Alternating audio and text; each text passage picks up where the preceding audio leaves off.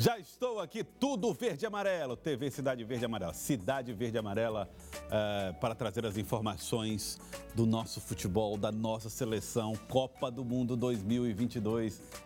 Chegou o grande dia de nós conhecermos os jogadores que estarão lá com a honra de vestir a camisa da seleção brasileira. Dídimo de Castro, boa tarde para você, seja bem-vindo, Dídimo. Boa tarde, Joel. Pois é, é um momento importante, né, Muito. da caminhada rumo à Copa do Mundo, anunciar os jogadores. Agora, com certeza, os 26 já estão sabendo. Ah, já? Já, o Tite já ligou. Já ligou para cada um. Ah, já. Eu achava, sabe o que eu achava aqui? Eles ficavam na frente da televisão. Olha, vou aparecer meu nome, vamos esperar. Será que sai meu nome Será aí? que sai meu nome? Vai... Não é meio assim, né? Eles já estão sabendo. Eu lembro bem do Ricardinho, na Copa de 2002, o ah. Ricardinho estava no banco, né? Tava. Então ele entrou substituindo, não lembro quem. Emerson. O Emerson que bateu na trave. O ombro, é. Aí o Ricardinho disse que estava lá num determinado lugar, quando a mãe dele ligou, disse, saiu aqui na TV o seu nome. Pois Você é. foi chamado para a Copa. Eu achei que era que nem vestibular, não entendi? Você ficava ali no pé do rádio para saber era, se era para a Copa do Mundo era, ou não. É coisa incrível, né? É. Herbert, boa tarde, seja bem-vindo, Herbert. Boa tarde, Joelson Jordani, telespectadores do Jornal do Piauí. Aguenta coração, hein, Joelson é, Jordani? É verdade, é verdade. Vamos saber Muito aí quem é que vai para a seleção. Aliás, a gente fala assim que os jogadores sabem é, porque também a seleção brasileira vai acompanhando o histórico desse jogador Isso. ao longo do tempo, para ver se eles estarão aptos ou não, e até para prepará-los, né? Até a chegada da Copa do Mundo, né? É, o jogador ele já recebeu o comunicado, então já está ciente disso, e quem não recebeu pode ficar certo de uma coisa, está fora da Copa. não adianta ficar na frente da televisão. Não adianta não. Que a Agora, gente vai ter ah. muitas famílias aqui no Brasil, já estão, na verdade, formando aí aquela torcida, né? Porque pode pintar, quem sabe aí, é, novidades três nomes do Brasileirão. Você acha? Né? Eu, eu acho que de repente pode pintar sim novidades. Jogadores do Flamengo, jogadores do Palmeiras, é, do Corinthians, por exemplo. De repente sai um dos três goleiros, que a gente está acostumado a saber, né? Que os três já, já, já, já, estão assegurados. Mas de repente, se pintar lá o, o goleiro do, do Corinthians, a torcida do Corinthians está nessa expectativa, não está não, Dídimo? E o goleiro do Atlético Mineiro, campeão piauiense pelo River, está naquela relação de 55, né? É, 55 né? nomes. O, né? Emerson, é, ele está é na relação. É o goleiro Everson, do... né? Everson. Everson. É. Everson, goleiro do Atlético Campeão bom goleiro. pelo River. Campeão Jogou pelo River, é verdade. É, e aí, então, está na lista dos 50. Vocês acham, por exemplo, que um, os, os maiores times do Brasil, Flamengo e Palmeiras, vão ter mais de um jogador cada um nessa seleção? Olha, normalmente na história das Copas é o que a gente viu. O campeão brasileiro ou da Copa Brasil na época, o, o melhor time sempre tinha muitos jogadores. No caso, Santos e, e Botafogo comandavam, né? Uhum. Em seleção brasileira de futebol. O João Saldanha chegou a convocar a seleção com jogadores do Santos e do Botafogo. E aí fazer uma super seleção. Mas olha, vai começar lá, hein? Vamos lá, ao vivo, trazer as informações direto da CBF para a gente saber quem são os jogadores que vão para a seleção brasileira na Copa do Catar. Já sabe que o Felipe Coutinho está cortado por conta de uma lesão do Aston Villa. Quem é que vai para o lugar dele? Everton Ribeiro assegura, para mim assegurou, depois da saída do Felipe Coutinho, o Everton Ribeiro está dentro. Ele está em grande forma, né? Tá fez um excelente campeonato brasileiro, Copa do Brasil, vem voando, né? Atuando pelo Flamengo. É, então o Everton Ribeiro deve estar tá na seleção. Pedro, uma expectativa muito grande do torcedor brasileiro. Os torcedores aqui do Brasil ainda aguardando nomes do Palmeiras. Já sabemos que o goleiro, o, o, o Everson, vai estar, né? O Everton. Isso. O Everton, é, do Palmeiras. goleiro o Everton do Palmeiras. Estará, não tem chance. A expectativa é pelo Danilo, né? De repente pode pintar o Danilo, né? Danilo, Danilo volante do Palmeiras. Você acha? Eu, rapaz, de repente o Tite gosta muito desse volante. Então vamos ver. A turma está dizendo aqui que não, né? hein? Vamos aguardar. Dani Alves, tem gente falando em Dani Alves. O, o que está desde o dia 23 é. de setembro sem atuar. Fundou o time que ele foi contratado lá no México, mas é um querido também pelo técnico Tite. Daniel Alves? Eu acho que já passou a fase dele. Eu também penso que já sim. Já foi convocado várias vezes foi campeão olímpico, inclusive, é. com a seleção do Brasil. Então dá um lugar para outro lá, não é? Eu acho. Ele não já tá mais em grande forma. Daniel Alves. Para mim não seria surpresa, não. Vamos ver. Então vamos ver. Direto da CBF, quem são os jogadores que vão para a Copa do Mundo 2022 no Catar? Vamos lá. É, boa tarde a todas e a todos. Fal. É, boa tarde, presidente.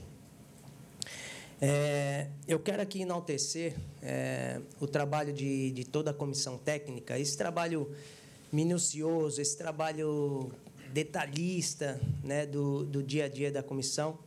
É, aqui nós estamos representados pelo Fábio na parte física, pelo Dr. Lasmar na parte médica. Nós temos os três auxiliares diretos, o, o Kleber, o César e o Matheus, na parte técnica. É, temos aqui também o Bruno Baquete, o Tomás Araújo, os nossos analistas, o Guilherme Passos, que é o nosso fisiologista.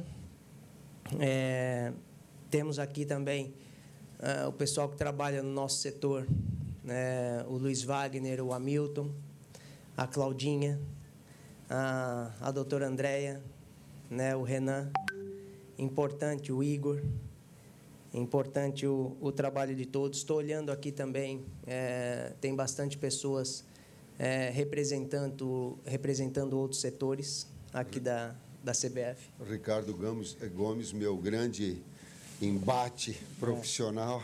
É. Obrigado, Ricardo. Você, você antecipou um período que ele estava na minha próxima apresentação. é, mas é importante é, é, falar, presidente, do, né, que nem a gente teve e você reuniu todos os funcionários aqui da, da CBF para poder mostrar esse vídeo. E, e, a gente ressaltar através dos, dos representantes, dos diretores, né, o trabalho de todos os funcionários, todos vocês de outros setores, né, e ao longo desse desse ciclo todo, desse período todo, dessa preparação toda, e pode ter certeza que por esse trabalho que está nos, nos propiciando essa essa tranquilidade, essa confiança em anunciar essa essa lista final aqui para a Copa. Então, o meu muito obrigado a, a todos vocês, tá?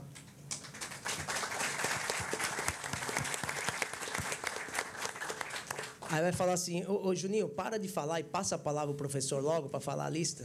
É, mas é, é, importante enaltecer e, e, é, e, falar dessas pessoas, porque são pessoas que não aparecem, é, aparecem pouco ou aparecem quase nunca, e que o trabalho delas elas são, são muito importantes. É, aproveitando o gancho do professor, eu quero anunciar oficialmente é, também os nossos três observadores para a Copa. O Ricardo Gomes Obrigado, Ricardo. É, Ricardo Gomes dispensa qualquer tipo de apresentação. Vai estar com a gente na Copa do Mundo. É, também o Fernando Lázaro e o, e o Lucas de Oliveira.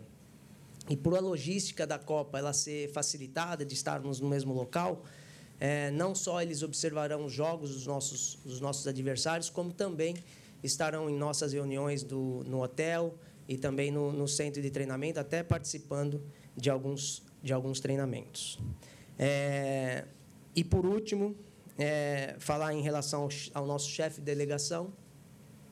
Nós entendemos é, que, pela grandeza da, da competição, o dia a dia institucional é, teria que ser representado é, pelo nosso presidente. Fizemos esse pedido a ele e, e esse pedido foi acatado.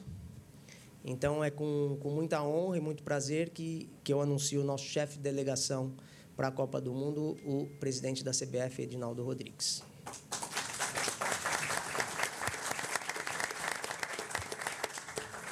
E antes de passar a palavra ao professor, tem, a, tem o Kleber também para para falar. Por favor, Kleber. Pode ir, Clebinho. A gente vai colocar aqui a projeção. É, Boa tarde a todos. É, nesse ciclo de Copa do Mundo, a gente teve a possibilidade. É, está falando um auxiliar do Tite, né, o Kleber, que costuma acompanhar o Tite aí nos jogos da seleção brasileira. Por enquanto, Didi de Castro, só a expectativa dos nomes dos jogadores. Até agora uma conversa, né? Os jogadores se apresentando ali, o Juninho Paulista, que tem importância grande nesse processo. É, ele substituiu o Edu, né? Que saiu para a Inglaterra. E aí ficou aí o Juninho Paulista tenta, trabalhando junto com a equipe do Tite. E vão ser esses homens aí da comissão técnica e diretoria técnica da CBF que vão ter a responsabilidade de administrar esse elenco da seleção brasileira. É, o Juninho Paulista já vem trabalhando há algum tempo. Foi um grande jogador do São Paulo, do Vasco, do Atlético de Madrid e campeão mundial em 2002. Ele estava lá verdade, com a seleção brasileira. Verdade, verdade, bem lembrado. O Juninho Paulista. E o outro ex-jogador que faz parte da comissão técnica, César Sampaio Sim. que foi um jogador extraordinário naquele timaço da academia, né? Do Palmeiras. Palmeiras, sim. E que jogou como titular na Copa do Mundo da França. 98. Fez, inclusive, três gols naquela Copa do Mundo. Bom Fez um na estreia contra a Escócia e dois no jogo com o Chile. Então, dois jogadores de seleção estão aí na comissão técnica. Joelson, tem um reforço que a gente é, acaba não observando, mas a gente que vive o mundo do futebol, é, é um reforço, segundo o presidente da CBF, Edinaldo Rodrigues, de peso. É o Rodrigo Paiva. Ele foi tetracampeão do mundo, quando o- a seleção era comandada pelo Zagallo e pelo Parreira, em 94. Foi pentacampeão também. Aí ficou fora da comunicação da CBF, ele era o gerente de comunicação e agora, a pedido do Parreira, ele voltou para a CBF, voltou para a seleção brasileira. Inclusive, ele está, você vai ver daqui a pouco imagem do Rodrigo Paiva, marcando presença agora nesse novo momento da seleção brasileira, eh, Qatar 2022. Muito bem, a seleção brasileira que vai ter os nomes de jogadores revelados daqui a pouquinho. Nós estamos acompanhando a transmissão direto da CBF. Jogadores falando a respeito de preparação para a Copa e agora o Tite, treinador da seleção, começa a falar. Vamos ouvir. muito bem estruturado e dando a todos a condição de estar na, na seleção principal com a naturalidade, com o peso, com a responsabilidade, mas com uma alegria específica. Obrigado, Amadeu. Falando de ti, eu falo de, dos técnicos todos que nós tivemos a possibilidade do contato. Dito isso, vai para as nossas escolhas, para sermos o mais justo humanamente possível. Goleiros: Alisson, Liverpool, Ederson, Manchester City, o Everton, Palmeiras. Laterais direitos: Daniel Alves, Pumas, Danilo, Juventus. Laterais esquerdos: Alexandro, Juventus, Alex Teles, Sevilha. Zagueiros: Bremer, Juventus, Éder Militão, Real Madrid, Marquinhos, PSG, Thiago Silva, Chelsea. Meio-campistas: Bruno Guimarães, Newcastle, Casemiro, United, Everton Ribeiro, Flamengo, Fabinho, Liverpool, Fred, United e Lucas Paquetá, West Ham. Atacantes: Anthony, United, Gabriel Jesus, Arsenal, Gabriel Martinelli, Arsenal, Neymar, PSG, Pedro, Flamengo, Rafinha, Barcelona, Richarlison, Tottenham, Rodrigo, Real Madrid, Vinícius Júnior, Real Madrid. Essa então é a lista dos 26 convocados que vão defender a seleção brasileira na Copa do Mundo Qatar 2022. Pessoal, eu vou cro- cronometrar agora três minutos para vocês darem essa primeira repercussão da lista. Ah, tá aí a lista: Dídimo de Castro, Daniel Alves, surpresa para mim na seleção Eu também brasileira. acho que. Eu já, já tenho muito tempo de seleção, né? É, não jogou Já bem não- no São Paulo, vai jogar É, bem já não está num grande time, não esteve bem É. no São Paulo Futebol Clube. É. Eu falei aqui, a escalação dele, a convocação dele é arriscada, muito arriscada, né? mas é, é assim, ele é aquele cara que tem muita maturidade. Não jogou na Copa de 2018, foi cortado porque foi, se machucou, e agora está de volta. É uma espécie de, eu vi isso, de gratidão do técnico Tite para com Daniel Alves, embora no Pumas o time dele tenha terminado o Campeonato Mexicano em último lugar. E não joga desde o dia 23 de setembro. Ele vem mantendo a forma física, mas é um cara que é, é muito disciplinado nessa questão de se preparar para torneios, né? Então, é, é, Daniel Alves, eu, eu disse aqui antes, ele pode ser Falou, convocado, eu falei. falei que não, não deve e tal. É, agora não pode ter gratidão numa Copa do Mundo. é, porque- Tem que jogar quem está melhor. E, e dizem que é ele que segura o Neymar, pronto. É jogador de vestiário, pode não ser, o titular. Eu acho que o Tite vai utilizá-lo no banco. Eu vejo assim. Eu, eu acho Será, assim. gente, que Eu vale a acho. pena isso? Sei, né? Quem tá lá dentro é que sabe, mas É. Daniel Alves não tem jogado bem nos clubes por onde tem passado, né? Nitidamente ele está com dificuldade de render como jogador de futebol, que é absolutamente natural, né? Pelo tempo que ele tem de, de história. Mas está lá. Gabriel Barbosa, o Gabigol, fora da seleção, né? fora da Copa não tá. Vamos ver a lista? Já temos a lista aí dos, dos, dos jogadores? Vamos ver aí então. Vamos então ver as respostas do técnico Tite eh, aos repórteres na coletiva. Vamos ver. Vamos ver as respostas de Tite?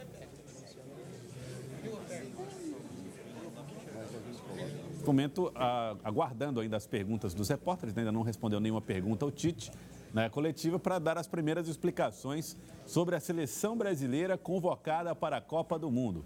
Surpresa nenhuma nos três, nos três goleiros, né? Os três goleiros foram os três goleiros que mais jogaram: Alisson, o Ederson e o Everton do, do Palmeiras. São os três goleiros. Pedro está na seleção, aí a, a, a, as expectativas foram cumpridas. Neymar, obviamente, que também. Gabriel de Jesus, que chegou a ser uma. Eu achei que ele não fosse convocado, não, viu? Gabriel de Jesus? É, eu achei que não. Mas está convocado e fez uma, uma, uma, Copa do Mundo ridícula em 2018, né? Uhum. E agora é chamado para a seleção é, rumo ao Catar. Eu achava que ele não fosse ser convocado. Ah, vamos ver o que, é que vai ser, vai ser, vai ser dito de maneira geral, Didi. Uma seleção agradou você pelos nomes? Esse negócio de convocação, de um modo geral, é sempre, sempre gera né, Uhum. divergências. Hoje está menos. Eu creio que devido à grande cobertura de televisão, mas em épocas passadas havia uma verdadeira briga entre paulistas e cariocas. É, os cariocas tinha isso. queriam o jogador do Rio, os de São Paulo queriam o jogador de São Paulo.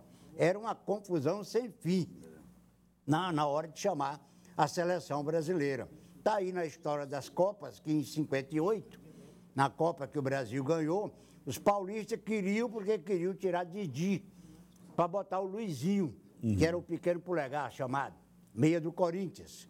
Foi uma briga danada. Didi foi para a Copa, Brasil foi campeão, ele foi escolhido o melhor jogador da Copa do Mundo. Depois da Copa veio aquela frase famosa: Didi, treino é treino, jogo é jogo. É. Estava avaliando o Didi pelos treinos. E ele então explicou que jogo é diferente. É, exatamente. O time do, do- da seleção de 30, mesma coisa. Só cariocas, a turma de São Paulo até torceu contra o Brasil em 1930 por causa disso. Vamos ver se a gente traz aí as informações. O Tite ainda não respondeu as perguntas dos jornalistas, está lá aguardando para organizar a coletiva. Ah, nesse momento, Juninho Paulista já respondendo questões ao lado de Tite. Vamos lá. São ontem, sim, após o término de todos os jogos. O critério do Daniel Alves é um critério de todos, né? que, ele, que ele premia qualidade técnica individual, ela premia ao seu aspecto físico e ele, ele, ele traz o seu aspecto mental, tal qual os outros, alguns com uma ou outra mais qualidade.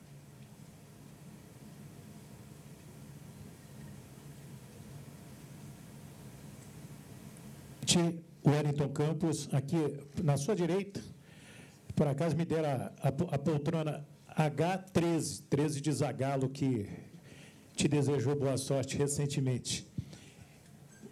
Boa sorte a todos, boa sorte a nós, Brasil. Tite, e você falou da importância das observações, como disse também o Kleber, e você leva contigo para a Copa um cara sensacional, um cara vencedor na vida. Chegaram até falar que o Chaves seria o seu auxiliar técnico, mas o seu auxiliar técnico nessa Copa, quem vai te ajudar, quem vai te, te dar uma força tremenda nas observações, se chama Ricardo Gomes. Queria que você falasse um pouco mais desse vencedor. Bom, boa tarde, Wellington. Eu, eu me sinto muito à vontade de falar com o Ricardo, porque nós já conversamos e eu vou só reproduzir aquilo que pessoalmente nós falamos. É, um momento profissional de embate e da qualificação das equipes onde ele enfrentou, e aí nós enfrentamos com Juventude, nós enfrentamos principalmente contra o Vasco, o grande Vasco 2011, uma equipe com, com a qualidade técnica individual e com alma. Nós sentimos nos enfrentamentos. E externei isso pessoalmente ao Ricardo, afora todo o bunker que ele tem de técnico internacional, da, dos países por onde trabalhou, da capacidade que tem, da conduta pessoal que tem. Então, eh, traz sim um componente importante na, no, no agregar a nossa, a nossa comissão técnica, com certeza. Estou repetindo palavras que eu disse a ele pessoalmente. Nada mais daquilo que é a nossa característica transparência. Tite, boa tarde. Do Zé Alberto Andrade, Rádio Gaúcha.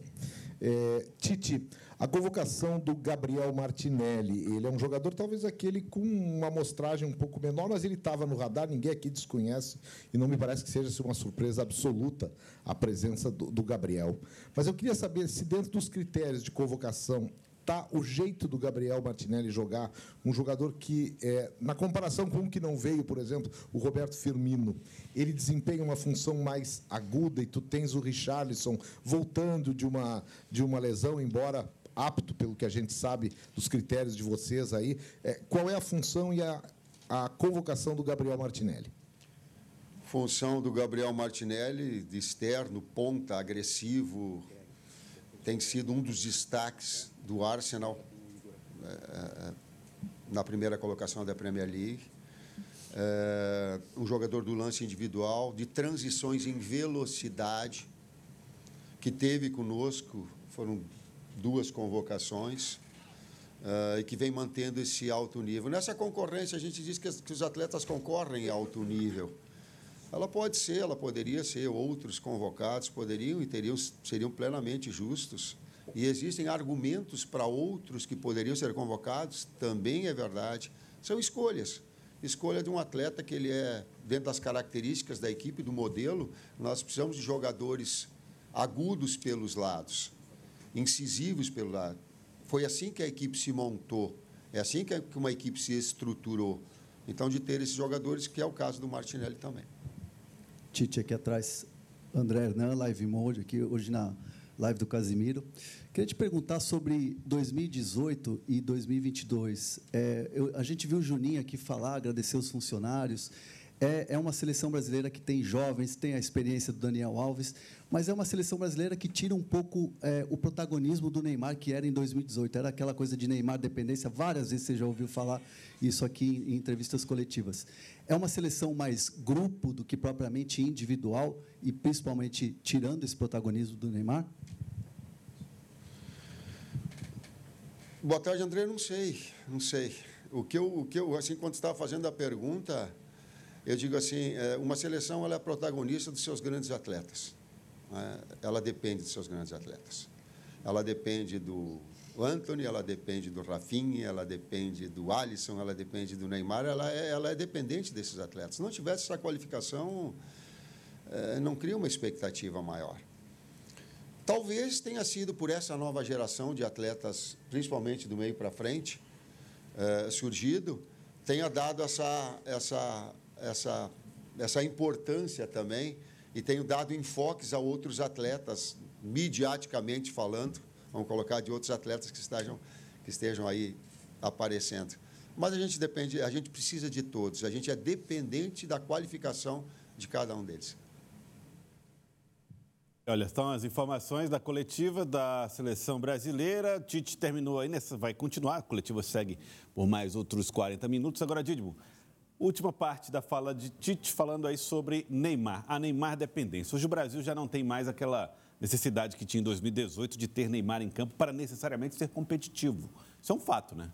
É, o Neymar é titular absoluto né, da seleção brasileira. Em qualquer seleção ele, ele joga. E eu creio que ele esteja com mais experiência, mais bagagem para uma Copa do Mundo, né?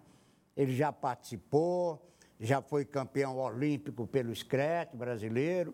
Então ele amadureceu, eu creio que suficiente para fazer uma boa Copa. Bom, vamos falar aqui a respeito dos jogadores convocados. Você vai acompanhando na tela, na sua casa, uh, os jogadores que estão aí convocados pela seleção brasileira de futebol. Pedir para tirar a barra para a gente ter a visão completa. Muito bem. Olha, os goleiros, Alisson, Ederson e Everton. Nada contra esses três goleiros, né, Didimo? Ok para você? É, já estavam, esses aí estavam certos, né? Certíssimos, Herbert? Também, Alisson, Tranquilo, titular né? absoluto. Já foi até o melhor do mundo, né? O melhor é. goleiro do mundo, Alisson. Já foi, eu diria que qualquer um dos três, se forem titulares, o Brasil viveu fases difíceis de goleiros no passado, mas hoje não mais. É verdade. Uh, Danilo, Dani Alves, né? Dois jogadores aqui. Aqui a gente tem essa questão, essa questão do Dani Alves. O Tite deu uma explicação, que é uma premiação ah, e que obedece meio que o critério. de to- Se fosse fazer uma enquete dentro da seleção, Dani Alves me parece seria uma unanimidade, né? Seria conselheiro do time. Mas a situação dele lá no México não era boa, né? Não, o time dele terminou em último lugar, quase. é, aliás, foi rebaixado, aliás, o Pumas. Eu acho que foi rebaixado, porque a imprensa mexicana criticou demais o Daniel Alves e ele voltou para o Brasil também criticado pela imprensa brasileira, na sua maioria. É o que eu falei, ele vem mantendo a forma física e não seria para mim novidade o Tite convocar ele. É. Pelo perfil que ele já, já colocou para o Tite, né? O perfil que ele tem de, de ser um ganhador de títulos, tem muita maturidade. Danilo, imexível, Danilo. Pois é, Danilo bom, Sempre provou isso nas É. convocações do Tite. Tá na Copa. Alexandro, tá aqui, ó, presente. Alexandro, Alex Teles, na linha de zaga, Thiago Silva, Marquinhos e Éder Militão. Ah, Para mim, me parece também uma, uma convocação previsível essa. É, e o Thiago Silva, eu acho que é bem a terceira Copa, né? É, jogou 14, jogou 18. E agora, Tá indo agora para 22, essa. né? 22. É a terceira Copa dele.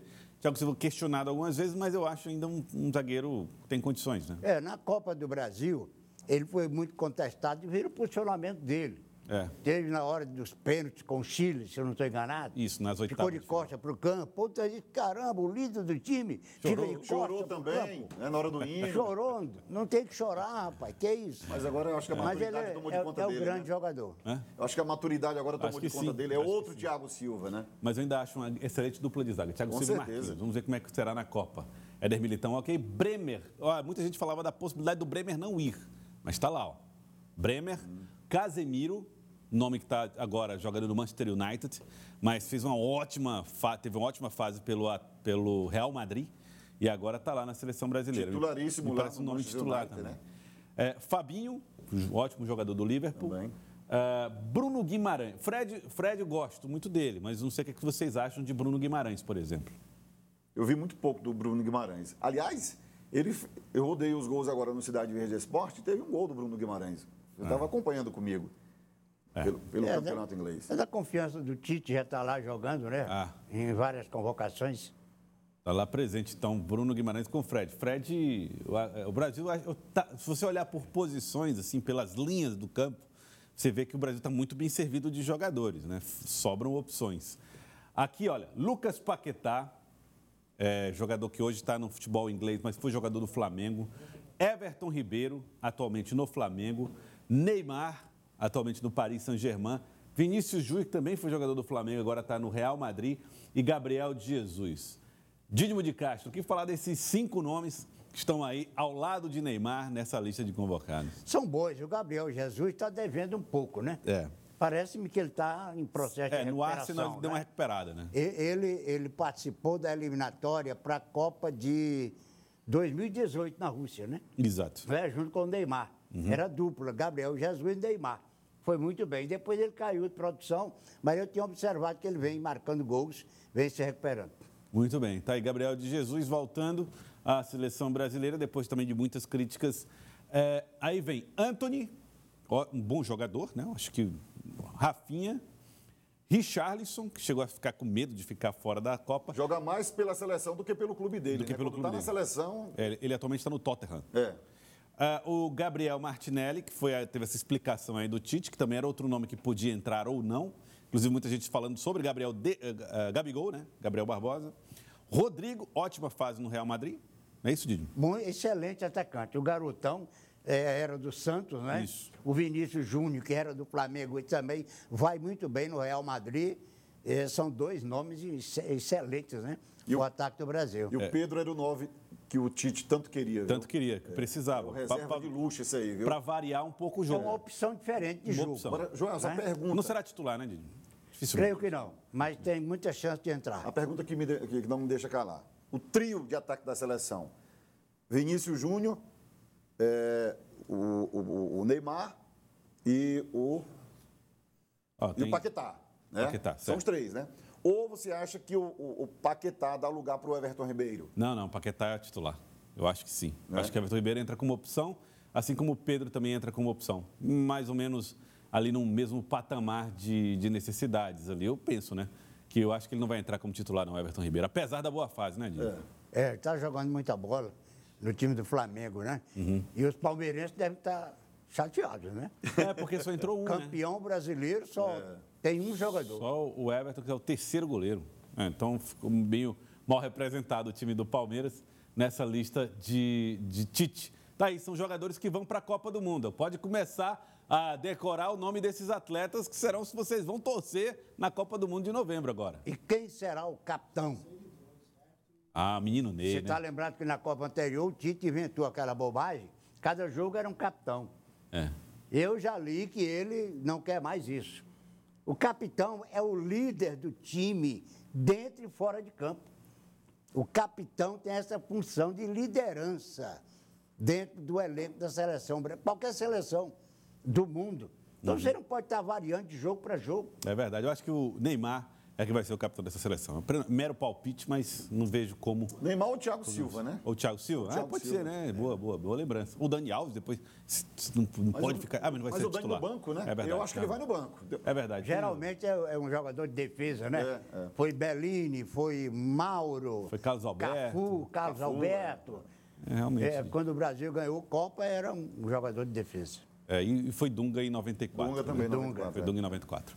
Gente, quero agradecer a vocês. Agora, qual vai ser a programação da seleção agora? De... É. A seleção ela vai para a Itália, ela vai para Turim. Viagem dia, dia, dia 14, vai para Turim, na Itália. Agora, a, a seleção sempre fazia o quê? Ela ia para a Granja Comari, né, Didi? Sempre foi a Granja É, Comari. agora é diferente. Agora é diferente. Vai para Turim, na Itália, dia 14.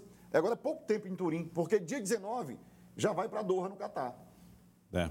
É, a sele... ficou Quase todos encurtado. os jogadores moram fora do país, não é? Sim.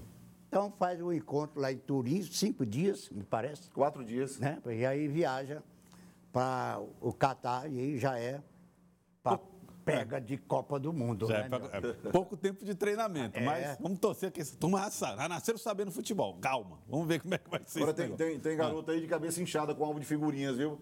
Tem, porque ficou fora, tem muito jogador, que viu? Não, não tá batendo palmo de figurinhas, não, viu? Didi, quero agradecer, Didi. Muito obrigado pela Valeu. participação aqui com a gente. Herbert, um abraço. Valeu, Joelson. Grande abraço. Ao longo dos dias até a Copa do Mundo, muitas informações com Herbert Henrique, com Dídimo de Castro aqui no nosso Jornal do Piauí. Acompanhe com a gente Cidade Verde e Amarela.